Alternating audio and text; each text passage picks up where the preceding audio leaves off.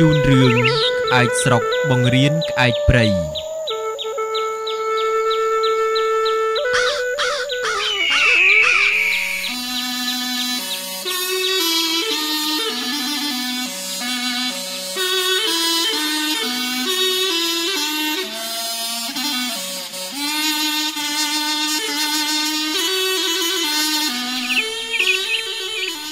ក្នុងកាលជាអតីតកាលខាងកំបាំងស្ងាត់យូរអង្វែងណាស់ទៅហើយមានក្អែកពីរមួយក្អែកស្រុកសម្បុរស មួយទៀតក្អែកព្រៃសម្បុរខ្មៅក្អែកស្រុកនេះវាចេះស៊ីចំណីអាហារគ្រប់ចាងវារស់តែដោយសារលួចឆក់ចំណីអាហាររបស់អ្នកស្រុកស៊ីរាល់ថ្ងៃមនុស្សណាទុកចំណីអាហារមិនប្រយ័ត្នវាលួចឆក់ពំទៅស៊ីមួយរំពេច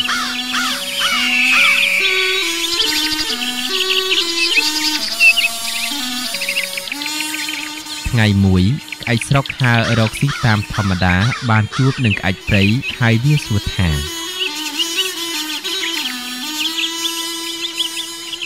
បងក្អែកព្រៃឯងរកស៊ីរបៀបណាសពថ្ងៃក្អែកព្រៃឆ្លើយថាសពថ្ងៃរកស៊ីតាមសមាអាជីវោមិនលួចឆក់របស់គេយកមកចិញ្ចឹមជីវិតខ្លួនទេ បងក្អែកស្រុកឯងរកស៊ីរបៀបណាដែរ ក្អែកស្រុកឆ្លើយថា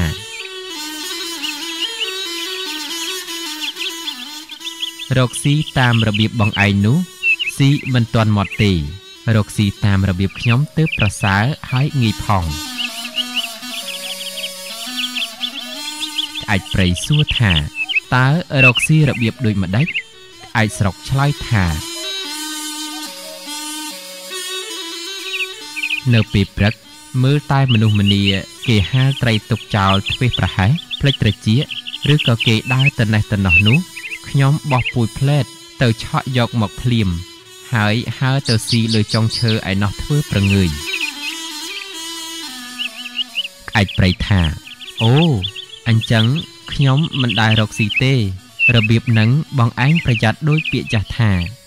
លួចគេវិក្រាន់ប្រយ័ត្នតែគេទាន់វិក្រែលណា ក្អែកស្រុកថា មើលបងក្អែកព្រៃឯងទៅលោជាមួយនឹងខ្ញុំម្ដងមើល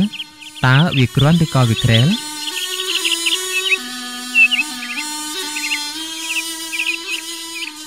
ថាហើយក៏នាំគ្នាហើរសំដៅទៅរកភូមិដែលមានមនុស្សនៅអាស្រ័យទៅដល់ពាក់កណ្ដាលផ្លូវហើយក៏បានឃើញអ្នកដំណើរម្នាក់ដាក់រទេះដាំបាយហើយអាំងត្រីមួយដំបត់យ៉ាងឈ្ងុយ គាត់ដាំបាយបណ្ដើអាំងត្រីបណ្ដើចូលទៅកាប់អស់ក្នុងព្រៃក្បែរក្បែរនោះបណ្ដើនៅលើក្បាលជួតដោយក្រមាមួយផងក្អែកស្រុកប្រាប់ក្អែកព្រៃថាបងក្អែកឯងចាំធ្វើតាមបង្គាប់ខ្ញុំណាខ្ញុំឆក់យកឈ្នួតក្បាលគាត់កាលណាគាត់ដេញតាមខ្ញុំបងក្អែកឯងចូលទៅឆក់យកត្រីអាំងរបស់គាត់នោះភ្លាមទៅ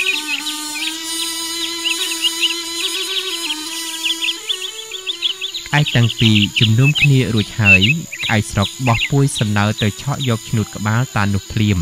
ហើយក៏បានហើរទៅយ៉ាងលឿន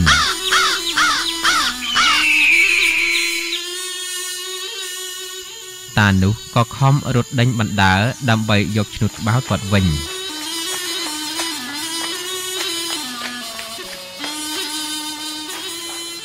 រីឯក្អែកព្រៃឃើញតាដេញដណ្ដើមយកឈ្នួតក្បាលពីក្អែកស្រុក ក៏ស្ទុះផ្លែតទៅយកត្រីអាំងហើយហើរទៅទុំលើចុងឈើធ្វើប្រងើយ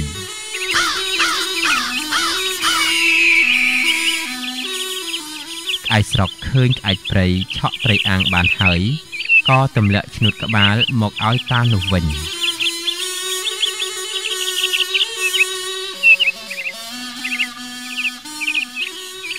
ចំណែកឯតានោះវិញពេលបានឈ្នុតក្បាលហើយក៏បានត្រឡប់មកកន្លែងរទេះគាត់វិញរកមើលត្រីអាំងមិនឃើញងាករកចោះឡើងមិនឃើញសោះក៏ក្រឡេកទៅលើចុងឈើទើបឃើញក្អែកទាំងពីរកំពុងតែចែកត្រីអាំងគ្នាស៊ីយ៉ាងហឺហា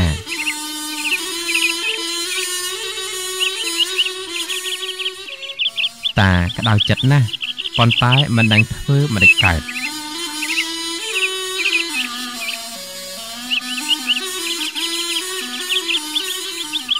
ចាប់ពីថ្ងៃនោះមកក្អែកព្រៃក៏ចេះតែរកស៊ីលួចឆក់ដោយក្អែកស្រុករហូតមកដល់សពថ្ងៃនេះ។